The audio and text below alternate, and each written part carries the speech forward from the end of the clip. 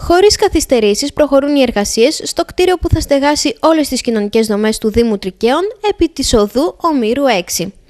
Στο χώρο βρέθηκε το πρωί της Τετάρτης ο Δήμαρχος Τρικαίων κ. Δημήτρης Παπαστεργίου και η αρμόδια αντιδήμαρχος κ. Γεωργία Κοτρώνη Μπαλοδήμου, όπου πραγματοποίησαν αυτοψία στις εργασίες που είναι σε εξέλιξη, εκφράζοντας μάλιστα την ικανοποίησή τους για την πορεία των έργων ανακατασκευής του κτηρίου.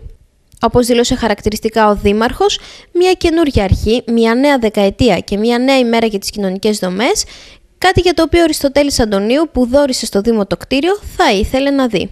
Όπως είπε, στο κτίριο θα στεγαστούν όλες οι κοινωνικές δομές από το κέντρο κοινότητας, το κοινωνικό εστιατόριο και το κέντρο ημέρας αστέγων. Μια σημαντική μέρα, όπως είπα και στην, στον αγιασμό του πρώτου καπί, το οποίο μεταστεγάσαμε σε νέο χώρο απέναντι.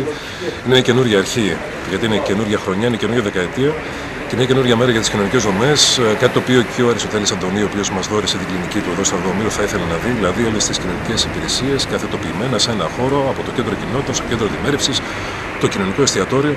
Τα έργα μέσω του προγράμματος ΕΣΠΑ από το ΠΕΠ Θεσσαλίας προχωράνε γρήγορα. Σύντομα λοιπόν το κτίριο αυτό ε, αποκτά μια νέα ζωή, δίνοντας και υποστηρίζοντας την ε, διαβίωση των ανθρώπων που συνεχίζουν να βρίσκονται σε δύσκολες καταστάσεις λόγω της κρίσης που παρατεταμένα περάσαμε στη χώρα την τελευταία δεκαετία. Το έργο συνεχίζεται σύμφωνα με το χρονοδιάγραμμα; Ναι, πάει πολύ καλά. Δεν έχουμε κάποιο τέτοιο πρόβλημα. Από την ώρα που φτιάχτηκε η στέγη, που ήταν το πιο σημαντικό για να διασφαλίσουμε το υπόλοιπο κτίριο, οι εργασίες, όπως θα δείτε κι εσείς, προχωράνε πάρα πολύ γρήγορα.